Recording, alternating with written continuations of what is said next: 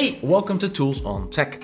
And do you know that feeling when you're stuck? You need to get a task done, or in my case, I need to set up a video, and there's a hundred thoughts in your head, and because you just don't know how to get started, you start doing anything except that. That's basically my day. Now, I have a fix for that, and I'll need to show it to you. And this is my magic weapon. Uh, it's my thinking corner. I know it's a wall, but you know, I don't, I can't use all the corners in my studio, but I love it. I love it because it's analog and I can just do stuff with it without thinking. I got a couple of good pens and I just write stuff down with my terrible handwriting, but I can read it and that's the important bit. Now, this thing is mostly empty when I'm not using it. Sometimes like my last thoughts are on it uh, I've seen other people that have like a whole system on it and like a daily marker and things like that. And my suggestion there would be get a second whiteboard, get a smaller whiteboard, put it somewhere where you're not doing your thinking. Because here, I don't want any distractions. This is for when my mind has like a zillion things in it and I need to get it out. And that's, that's what I do with this. Now I have another small trick and that is this thing in the corner. This is my tablet holder and the main reason it's right next to the whiteboard is because I want to get information. So I usually use it to consult Obsidian or Notion or sometimes Todoist, but usually I know which problem I'm stuck with to get information that I need to get out of my systems and onto the board to think about it. So if I want to look something up, this is super easy. The construction looks very complicated, but it's not. It's just some pipe from a do-it-yourself store and a couple of hangers. It's like 10 bucks and a few screws. Also, you can make this a lot simpler. You can just get one of those suction cup phone holders you have for your car. You might already have one of those and just stick it to the whiteboard and you can you know, have your phone open while you have your hands free to think and do. Whiteboards in themselves aren't that expensive. Depends a bit on how big you want them and if you want like fancy sides like I have in this case. Actually, it's a lack of sides, but you know, you pay extra for less in this world. Um, but you can get like pretty cheap whiteboards for probably 20, 30 bucks. If you don't want to spend that kind of cash or you don't have a space to hang it, uh, something that I did before, and let me grab that, you can buy, buy these uh, plastic static sheets. So this is for a video I'm trying to make for Hardspace: Shipbreaker and I worked that out by just sticking that to a door. You don't need magnets for it, you can just toss it to a wall. You can get these at a lot of office supply stores for I think 10 bucks you can get like 25 sheets. You can reuse them. It's not perfect, but you can. Uh, and that's a nice way to figure out if a whiteboard helps you without investing and screwing into your walls. So when I'm working on this thing, I tend to work left to right. This is very personal, but to me, this is where I start adding brain dumping my thoughts and then I move towards the right and I have like end results here that I import back into my systems. And it all starts with something very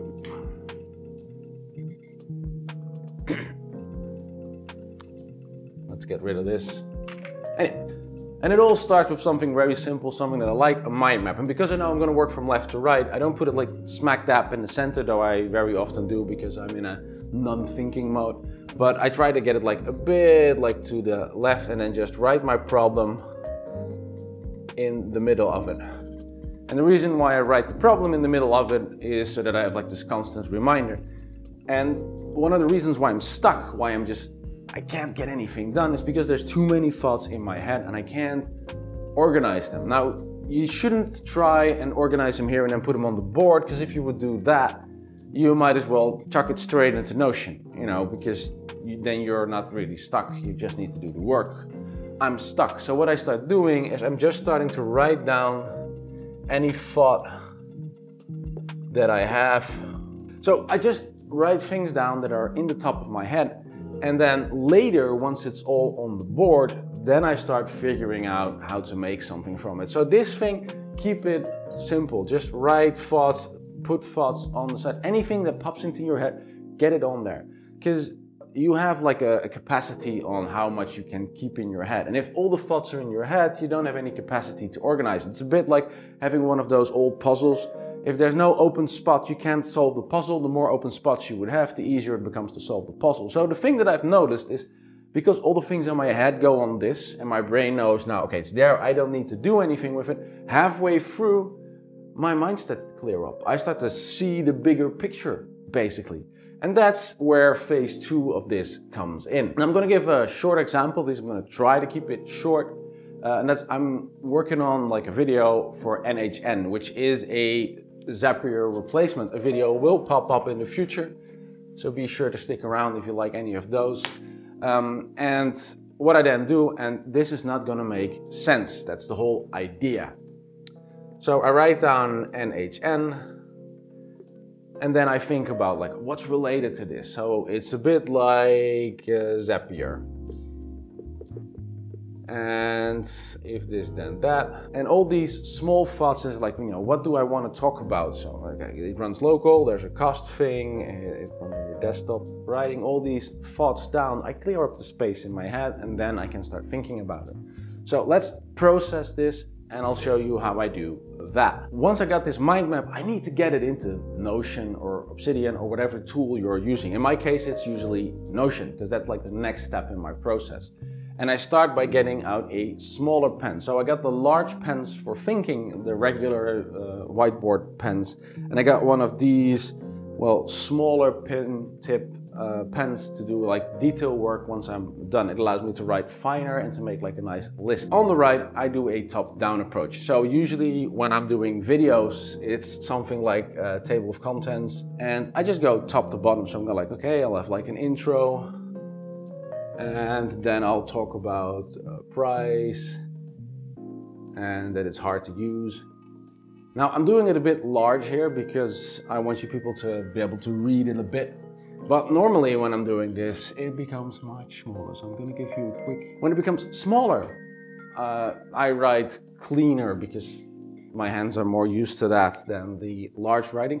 And then while I'm doing this, I just consult this mind map and find the information. So over time, you get like this whole list of information. On average, when I do something like this, this list is very uh, flexible. Sometimes it's something for Todoist, so it's like the steps that I need to do to solve my problem.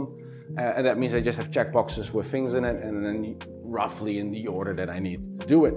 Um, and really weird, but if I would do this straight out, I would have to rearrange it in Todoist. And when I do it on the board and I have it all here and I start writing here, for some reason it just flows in immediately the right order and I can just type it over in whatever tool I need for it. So when it's status, it goes into Todoist, and when it's something like the table of contents for a video, it goes straight into Notion, which I have open here because same system yesterday. Another problem that you then have is then you have this nice whiteboard, how to get it back into your system. Now for Notion, what I do is I just uh, grab my phone, grab that one, and I make a picture.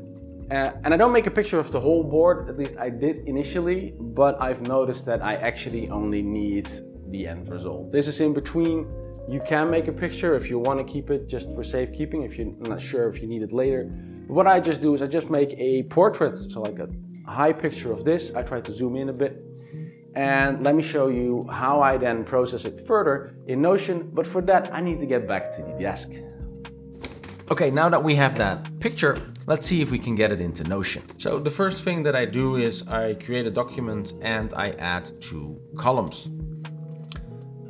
As an example, I'll create a, a demo video because I already did this uh, in my n8n video, but we just want to have a quick showing here. I use one of my templates and it should load fine. And then I have like the outline and script. And what I do there is I usually make like a second column. I really need to update the template, but every time I do this, I forget.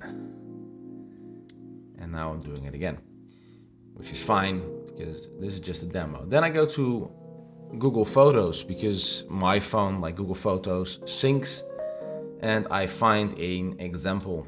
This is the one for this video and I do a copy image, then go back here and just paste it there. And one of the things that I like about it is now when I'm working on it, I can type on the left and go like uh, intro, no when I feel stuck, and just go through the list and add all the steps, which is trivial. I don't even need to think for it. I just put some headphones on, some music, and I go through it. Now, you also see here that I have a couple of checkboxes in it. And if I have checkboxes in it, that usually means that I need to add it to Todoist or it's something that I really specifically want checkboxes for in Notion. Both cases I usually know, so I'll make a judgment call when I read them. And finally, once I have this whole setup done, and I'll do a quick example on it. So I'm cheating a bit here and just copying it from the video because I already did this work and there's no point in you watching me type. Then finally, once I have everything here, I usually just make this column smaller. And the reason I make it smaller is because I don't need the picture anymore. Everything's on the left, but I still want it there just in case I need it at some point, and this is one of the easiest ways because when I open it on my tablet later, by having it move to the side, I get like most of the lines for reading my video. Now I do the exact same thing when I'm trying to solve anything where I need to get steps, but instead of like steps for making a video, it becomes steps to solve a specific problem. And I try to make those steps as small as possible. So things like call X, ask for Y, wait for response, get something back. So things like that is what you need to keep in mind. Usually once I get to this point, I'm in like a workflow state and I can just keep going. But this is, it works like magic. And I don't know why, I just know that if I'm sitting here and I can't get anything done, this is the way I get going. And remember, you're awesome, keep it up.